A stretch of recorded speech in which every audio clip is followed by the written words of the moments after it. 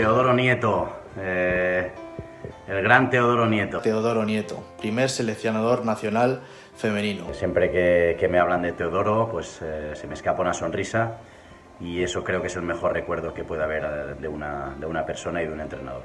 Con el que he compartido muy buenos momentos, pero también he compartido el privilegio de dirigir a la selección nacional representando a España por todo el mundo. Fue mi primer eh, seleccionador en la Federación Española de Fútbol. Tengo un gran recuerdo de él, tanto profesionalmente, que nos aportaba eh, muchísimo a nivel didáctico, a nivel de, de sentimiento, de pasión por el fútbol, eh, un carácter muy ganador, una voz muy fuerte, inconfundible y además como persona, diría, ¿no? Todos los que formamos el fútbol femenino actual tenemos que agradecer siempre todo lo que hicieron los pioneros y pioneras hace muchos años por nuestro deporte. Le tengo muchísimo cariño, espero que esté muy bien, le deseo todo lo mejor y le mando un fuerte abrazo.